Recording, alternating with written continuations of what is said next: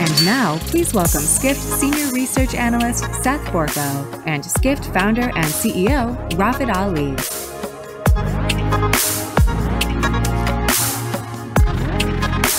Yeah.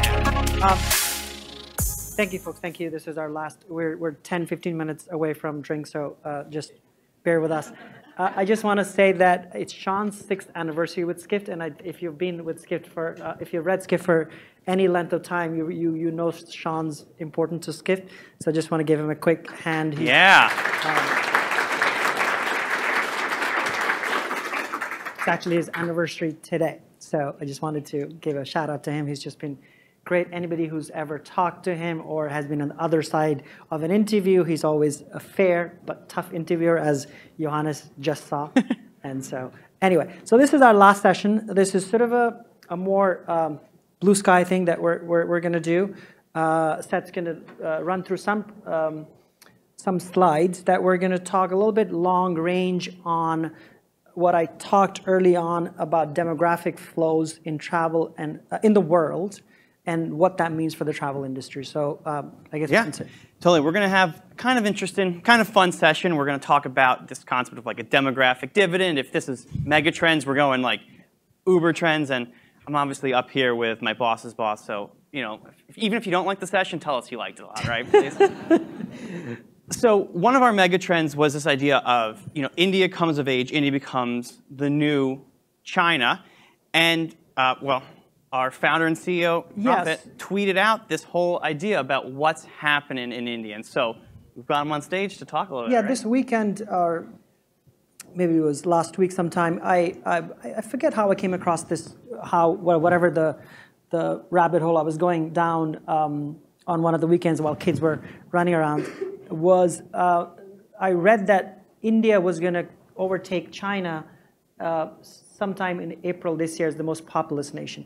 And coming from India and having read about this for years, for some reason, in my mind, this was 15 years in the future. I think all of one of the first reactions was, "Wow, this this happened this quickly," uh, and um, and and what what happened was the China's uh, population fell off a cliff in the last 10 years dramatically, and so what was going to happen much much later in the 30s and the 40s, 20s, 30s, and 40s, got pulled into the 20s. So uh, the estimates are that, that India's population is going to overtake China. So I tweeted this uh, and then a few other uh, tweets after on um, some of the particulars of what's happening in India and some of the charts that we're going to talk. And it became, vi- like, I guess, industry viral. I'm not going to say viral because, like, you know, but industry viral. And um, and I fig and there's so many implications for what this means for the travel industry. So we're going to talk about it. Yeah, and I think when I look at this chart too, what stands out to me is not just that India is surpassing China, but look where they're going to peak, right? Like China's population is actually going to start to decline. India's is going to grow for the next 20 or 30 years, and it's going to change really the face of what outbound tourism looks like. I mean, it's just so such. Or the mass outbound tourism looks. The like. mass outbound tourism you know, this is from our, actually this is a graphic from the megatrend that it's live right now. Um, you know, so we're expecting a full recovery, nearly 27 million outbound travelers. Could it be 29 million in a couple years? And, and even these destinations that are traditionally the kind of the neighbor of China, right? Like Thailand is right by China. It's where it gets a huge amount of outbound Chinese traffic. We talked with the, you know, Skift talked with these Thailand tourism minister saying we're really interested in Chinese outbound tourists too. Like we're maybe seeing a million visitors from India in the next couple of years. So it's, it's really changing, I think, the game for, for it. And, and it's a totally, maybe you could talk to us, Rafat, a totally different maybe culture in travel and what that means if Indian travelers happen more. And, and I'll show this chart really fast too, I think tells an important thing. I've got a couple of these. They're called population pyramids. So it's a way that a demographer would look at the population. Each of those numbers is ages, so we're looking at age buckets. And then we're just looking at what percent of the population is in each age. And so this is China versus India. What you'll notice is there's the, the 45 to 55 gap boom in, in China, and then there's that millennial 25 to 35 gap in China. But in the next 20 years, China's going to get a lot older. And if you look at the Indian pyramid, it tells a very different story it's a very young nation, and they're going through their baby boom as we speak today, whereas China's kind of halfway through it right now. So it's a really interesting dynamic happening here. Yeah, and the fascinating thing is, and um, I don't know if you have charts. I think we have charts ahead in, in this as well. And the the the young Chinese population versus the young Indian population. Um, for those, uh, you may have connections to India. Some of you are probably watching online have connections to India. The young, uh, the young Indian, and this is a very general statement, are just so much more global than uh, certainly when I was growing up there uh, back in India. Can we get that chart back up here? Um, Yeah. Because I was looking at this chart, um, Brian, on this monitor. You can always just check I up, guess I can the look at top that. there or something. But um, the, uh, the, the, the, the young uh, Indian population is so much more global. Like if I talk to my younger cousins or uh, nephews and nieces in India, uh, they know more about the Netflix shows than, than we do here in New York. This is, this, this is 100% true. Uh, and uh, they know so much more about um, so many other, other things in the world. Like my cousin, um, this is a true story. Three years ago, right before COVID, my cousin uh, was coming to US for the first time. My aunt called me says, this is the first time he's coming. He's a, uh, can you please take care of him? Can you go to the airport? He lands at the airport and says, this is the airport in US? This is JFK. And I said, well, this is our airport. And then, um, and then I said, you have to, uh, you have to go here, you have to go here, this is what you have to do. He said, I have it. I have Google Maps, I can put wherever I want to go, it'll tell me where to go. That's it. He didn't need any instructions from me. So the point is, there's so much more global and mobile uh, compared to when we were growing up. And then in terms of, uh, you know, we, when you talk about the travel industry, travel industry had to have a China strategy, meaning how do we, um, how, how do our hotels become China friendly? How do our destinations become more China friendly? With Indian travelers, it's less, they're just so much more global. So the point is that, uh, that's certainly a point which is, um, with the population that they have, the people who have money, and I was talking to Hari, um, because both of us are Indian, um, uh, the people who have money have so much more money. The disposable income in India for the, for the, for the, for the people who are rich is just so much on a whole different level. And so when they will travel, they'll spend a lot of money. And uh, so I think that's the one, well, And- continue. and- yeah, and, and one other thing, point you made to me is, is it's an English-speaking nation too, right? Like, At the, at the level that, that is going to travel globally, correct? Yeah. So we're talking about India versus China here and, and the reordering of Asian traveler. I do want to say, we're not just here to say China's over. China is so hugely important, and the reason for that is also not just because of the numbers of travelers and because they're traveling today, not in the next 10 years, but also because of the per capita spend, which we shouldn't forget. And th- this is a, a- an important point. So this is a slide we put together. Average expenditure per outbound trip. You- the black bars are different broad regions, and then the yellow bars are the two important countries we're comparing here, which is China and India. And so China still spends, I mean, almost $1,700 per outbound trip. That's more than in America. Like, that is a huge amount of spending. So China's not going to disappear overnight. And even if there are potentially more Indian tourists, the key is if there's 10% more Indian tourists, but they spend a third of what, two thirds of what a Chinese traveler does, China's still very much going to matter. The flip side of that is that there's a huge opportunity for catch up. Because what if that India number could get to the 1600 figure? That's, that's billions of dollars. And by the way, let's look on the far right side of this chart, Latin America and Africa, which are by far the smallest. What if they could catch up and get to even an, a, a, a $500 per outbound spend? So there's a lot of potential for catch up here across the world. Both we got to consider the, the absolute number of travelers, and then you got to consider how much purchasing power and spend they have. And th- this also, let's remember that in many of these nations, international travel is very much a luxury, which is sort of what you were talking about, Rafat. And again, this is a, a double-edged sword. It cuts both ways. Part of the reason why Chinese travelers have so much spend per capita is look at this outbound trips per population. It's, only 11% of the population that's taking trips. So it's the very wealthiest 10%, and they've got plenty and plenty of cash to spend. In India, it's 2% population penetration. So we're looking at very slim amounts of the population. As a result, they tend to be the wealthier and more luxurious part of the population. But also, as we're thinking out, you know, 20, 30, 50 years from now, if that Indian number went from 2% to 10% of the Indian population, it's, I mean, Hundreds of millions of- hundreds of millions of travelers. travelers, yeah. And the interesting part is, like, for instance, Middle East, and this is particularly true of, um, a place like Dubai, they've figured out why Indians matter in terms of the volume. And uh, all these new um, investments that are going in, I mentioned earlier uh, in my intro, whether it's Saudi, et cetera, the numbers that they're talking about that they need to reach, 2030 vision, whatever vision you want to call it, um, tens of millions, hundreds of millions of people, where are they going to come, where are they going to come from? Certainly not going to come from the West. They just don't have the numbers. There's a very interesting um, series the New York Times is running that we were talking about last yeah. night called Aging Asia. If you Google um, or go on the New York Times website, maybe you'll find it. But it's profiles of um, Japan, China, South Korea, et cetera, and what's happening culturally in those countries, um, particularly particularly um, Japan. Yeah. And uh, and uh, and so what it means for outbound from those countries long term, I think is pretty obvious what's going to happen.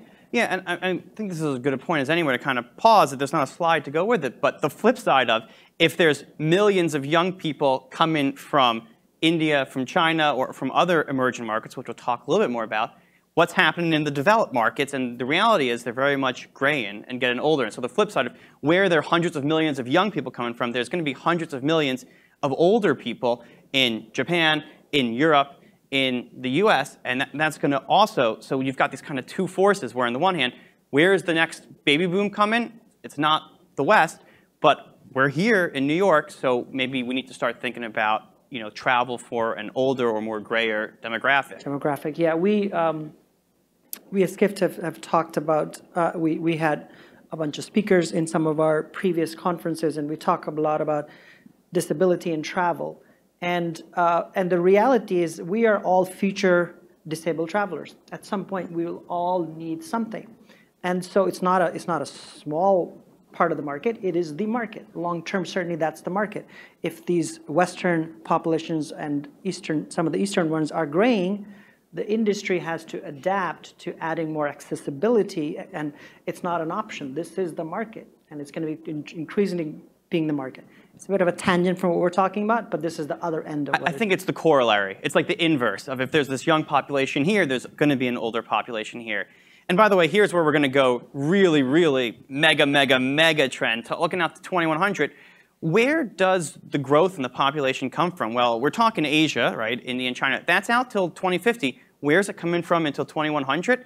It's actually Africa. And so you're saying you know, China is becoming a more mature market, India is becoming the new China. Well, who's becoming the new India, so to speak? And it's this whole generation of new emerging markets. They're still very much, well, actually, they're increasingly represented in travel. That's what this slide speaks to. But the reality is, if you compare where the developing world is in terms of population, in terms of economics, and then you compare where they are in terms of international travel, there's a big mismatch there. And especially as you look out over 10, 15, 20, 30 years, there's a, a very, very big uh, mismatch between where the, the future of travelers is coming from. And to give you a really extreme example, and this is, this is long-term thinking, folks, but you know, we were looking at those population pyramids earlier. You thought that India had a young population. What do you think of this one? This is an incredibly young population, and it's 200 million people, again, primarily English speaking, um, coming from a, a, the real in the wings kind of developing nations. And I think this was the other stat. Like, if you look at projection of population, more than half of all population increase is going to come from eight countries Congo, Egypt, Ethiopia, India, Nigeria, Pakistan, Philippines, and Tanzania. And so I'm not saying you need to go home tomorrow and come up with your Tanzania strategy, but I. I Congo strategy. Yeah, yeah, well, Congo. You know, there's there's a lot needed for for to pair the population boom with the needed economic boom. But, and I'll just skip ahead, this is, this is a, an, a, a PwC study. We really, if you were really thinking in the long, long term, we can't ignore, you know, you, you guys are tasked, what were you talking, a subtitle for this conversation would be like, where are you going to find the next 100 no, million No, no, no, you're sanitizing it. Where the fuck are you going to find all these people that you want to come to your destination? We're not, but I that, can say. That was, that was the technical, uh, where, where, are you going to find them? You know, if we're really thinking big picture, big mega trends here, I think this is a lot of, of what you should be thinking about. And, and the key really is that this, this is a slide I've, I've made and I've showed a couple of times. We're looking at tourism expenditure per capita on the y-axis, and we're looking at GDP per capita on the x-axis. And it's a very strong relationship. If you get wealthier, you travel more. And that is true. Doesn't matter your, your race, your religion, your culture, where you come from. You want to, you start domestic, then it goes regional, then it goes international. It starts with visiting friends, friends and relatives, but then people are curious about the world everywhere they are. It's, it's a, almost a universal trait. There's business connections, there's imports, there's exports. Travel is really one of these really fundamental ways of, ex of expressing ourselves. And you know, we've done some work. I think it's like 20,000 GDP per capita is really the point where you're no longer so focused on like, where's the next, you know, whatever, you know, surviving, and you can really start to think about building international businesses and, and about leisure. But if, you, if the world gets wealthier, which it, we hope it will, we believe it will, and it kind of must, then we're in the right industry for the long, long, long term. And we got to be thinking about these long-term trends and what they mean for our industry. That's it, right? Well, you got any thoughts? Around? I, uh, I have one more closing thought. Well, I mean, the good news is that Skift is focused on travel. I, I wish we were, uh, you know, I'm glad we're focused on the travel industry and not anything else, because yeah. travel, it, travel is the megatrend. Okay, uh, I guess. Do we want to answer some some questions? I, I got one more thought. Okay, go ahead. Well, no, no. The, the last thought was about your bringing it back to what you were saying, Rafat, about creativity, about this could be travel's most creative year, and you had all those those reasons. I think just this era, like you know, Chesky talks about there's a revolution happening in travel. yeah. I get it. He has to say that, but um, but I think from a from just the possibility, what what what we wanted to get across to um, to you and and people watching online was, uh, if the industry wants it to be, this could be one of the most creative phases of travel going ahead, for all the reasons we talked about for the last three hours, and um, and that's really what this uh, last 15 minutes is. If you, if you are um, more open to what's happening demographically in the world, then you'll think more big picture of what your strategies need to be. 15, 20 years ago, you probably got tasked with coming up with a China strategy. Uh, and now you should be thinking about an India strategy for many different reasons. And we can continue talking about why that's important, but, uh, or, or, or, how to do that. But, um, but that's why we wanted to plant some seeds on why we think this is the most creative phase of travel post-pandemic for all the pains all of us went through. Yeah, absolutely. I couldn't agree more. I, I think it's just, we've talked about the megatrends for 2023, 2024, the tactical creativity, and then the long-term creativity of what all these hundreds of millions of people are going to bring to our industry. And we wanted to end on this very positive and, and kind of upbeat note upbeat. that we're excited that it's an incredible industry and that long-term, both US, Europe, Asia, Africa, Latin America, there's a huge amount of potential for creativity and for new ideas and a need for new ideas in our travel industry. All these questions are political. I'm going to pass on all of them. um, China versus India. Thank you very much. Um, what do we have to do? Thank, thank the people? Yeah, give us some closing thoughts. Closing thanks. Okay. All right. Thank you, everyone, for being here. I want to thank. Um,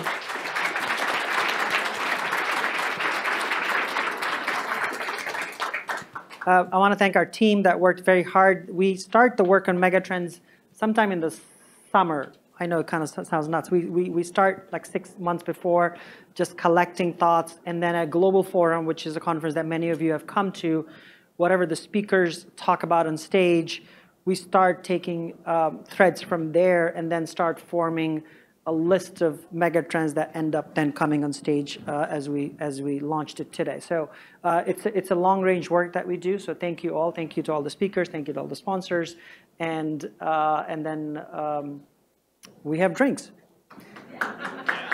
And uh, as I mentioned, the the megatrends are launched. If you want to uh, download the full magazine, uh, it's a it's a online package as well as a downloadable package. I think is it a downloadable package this year? I don't. It is okay. Um, it's not? Okay, no. You can just read it online or on your phone if you want to. All right. Thank you, folks. Thank you, people watching online.